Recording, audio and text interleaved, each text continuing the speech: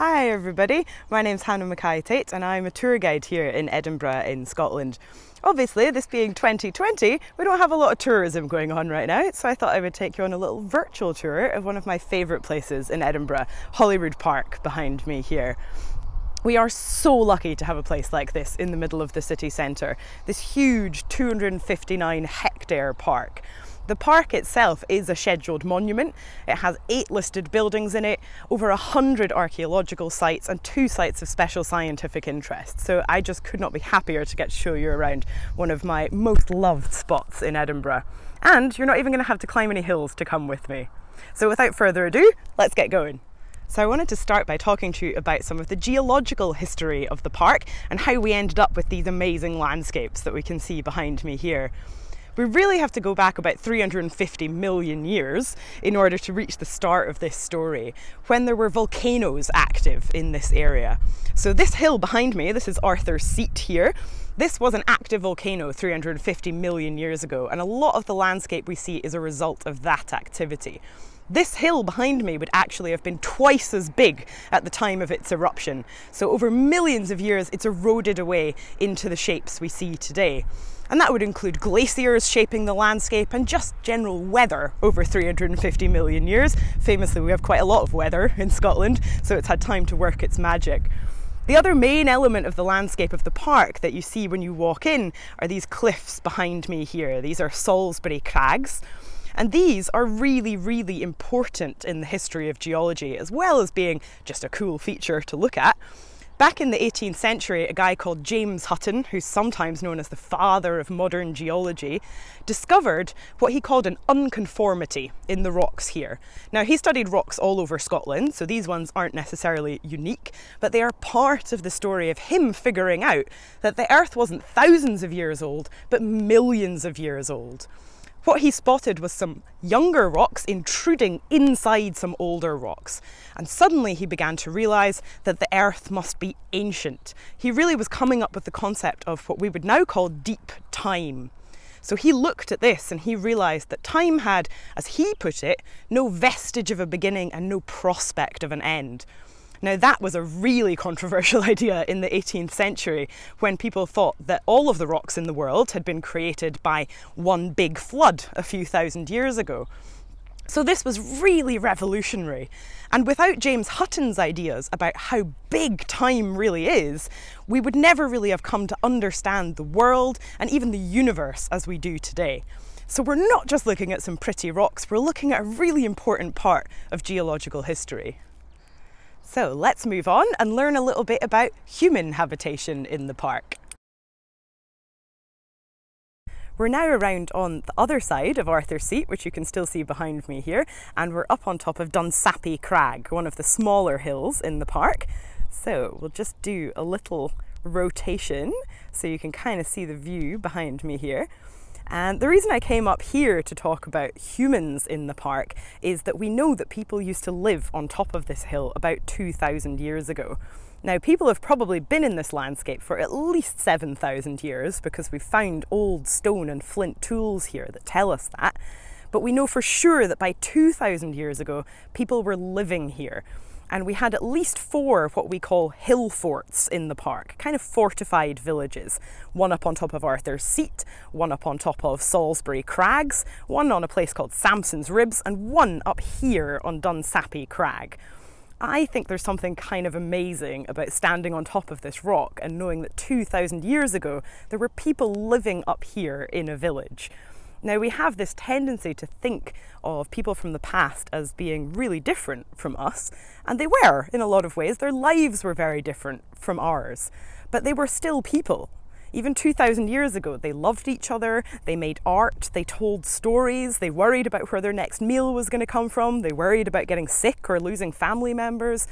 I think it's important that we remember that 2,000 years ago, the people who lived here were a lot more like us than they were unlike us.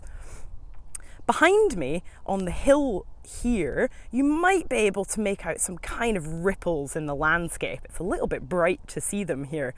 But on that hill behind me, there would have been farming.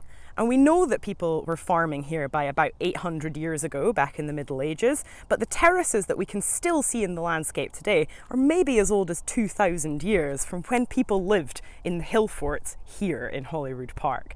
So when we look around us in the landscape, yes, we're seeing things from hundreds of millions of years ago and from hundreds of years ago, but we're even seeing things from thousands of years ago of people living in this landscape and appreciating a lot of the same things about it that we love today, I'm sure. So let's carry on making our way down from Dunsapie Crag and we'll go and look at the oldest remaining building that we can still see in the park today, St Anthony's Chapel. So, just over my shoulder right here, you should be able to see the ruins of St Anthony's Chapel, which is the oldest building that we can still see above ground in Holyrood Park today. It's so old we don't actually know how old it is. We know that it was repaired in 1426 because there's a record of the Pope giving money for that to happen, so it must be older than that, but beyond that, nobody's really sure. Now you can see it's a ruin, but for hundreds of years, this was an important site of Christian worship in the park. And it was particularly associated with feast days to celebrate the cross and also with May Day, which is a time that has a lot of pagan associations as well. And you'll still hear sometimes of people coming to wash their face in the dew on Arthur's seat on May Day morning to obtain eternal youth.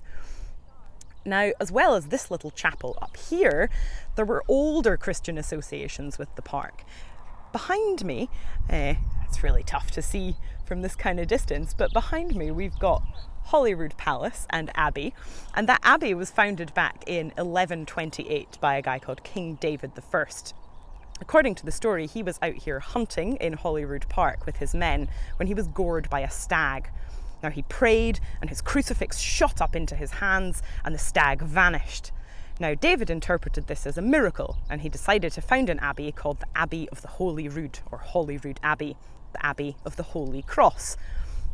Now, we have to take that story with a little pinch of salt because there's no record of it until 200 years after it allegedly happened, and it's full of all of this kind of popular religious imagery of the period. But we do know that the abbey was founded around that time, regardless of how it happened. Over the years, the little royal accommodations attached to the abbey developed into what we now know as Holyrood Palace, and that's been a royal residence for generations of royals in Scotland. If you go back to the 1500s, Mary Queen of Scots was in residence there and saw her assistant David Rizzio murdered by her husband in one of the palace's towers.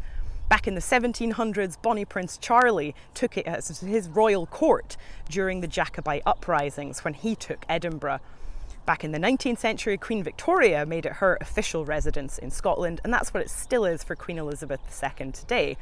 Normally, you would be able to visit Holyrood Palace, uh, and honestly, I don't know when you're going to be able to do that again. But it is a fantastic building to look at, even just from the outside. So we'll come back and do a whole video just about Holyrood Palace. For now, let's say goodbye to St Anthony's Chapel and we'll head downhill and have a look at some of the changes the Victorians made to the park in the 19th century. So before we finish up our tour and I go and have a lie down in the sunshine, because it is absolutely roasting if you can't tell from how sweaty I've been every time we've stopped, I wanted to talk to you a little bit about the Victorians and how they shaped the park into what we see it as today. So, from about the 1850s onwards, after Queen Victoria started using Holyrood Palace as her residence, this became a recreational landscape. And prior to that, you would have had industry in the park, there was quarrying going on in the rocks, there were livestock grazing, crops being grown. But from the 1850s, it turned more into the kind of landscape for leisure that we see around us today. As well as taking away industry and agriculture from this landscape, the Victorians, and specifically Queen Victoria and her husband Albert, made several improvements to the park. So they drained marshes, paths were put in, a new road was put in around the hill that you can still drive around today, known as the Queen's Drive. And they also put in this loch that you can see behind me here. This is called St Margaret's Loch. You might be able to make out all of the swans that it's famous for swimming around on its surface at the moment. And it's named after King David I's mum, by the way, St Margaret. That's where that name comes from. So, still really associated with the area. Now, this whole park is still royal land. You'll sometimes hear it called the Queen's Park or the King's Park, as it would have been called when we had a king as well. But in essence, it is public land. There are restrictions on things like running a business inside the park uh, or bringing commercial vehicles through, and they can close the roads to traffic, but there are no gates to shut pedestrians out at any time. So, this is the landscape that exists for all of us we can all come and enjoy this beautiful place in the city centre. And I have always appreciated having it, but I never appreciated it as much as I've appreciated it these past few weeks having somewhere that is so like the countryside, so peaceful, so open, something that feels like it belongs to all of us. I think that is something we have all needed to have in these past few weeks of lockdown. So I feel extremely fortunate to live so close to this beautiful place and to be able to share it with you as well. I hope you've enjoyed our little tour of Holyrood Park. I would love to see you come and explore it yourself when we're able to move around and go and have some more adventures once again. So hopefully we'll see you back in Edinburgh one day soon. Um, and if not, drop a comment down below and let me know what you'd like to hear about Edinburgh or el- elsewhere in Scotland um, as I make some more videos to keep myself occupied in this weird, weird time. Bye!